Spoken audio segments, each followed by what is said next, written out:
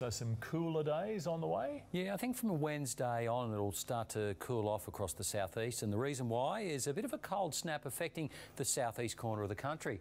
This was Perisher Valley today. Snow falling in the New South Wales Alps, about seven centimetres accumulated by midday today.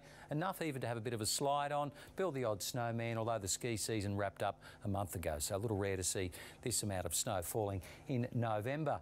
We'll start to see some of the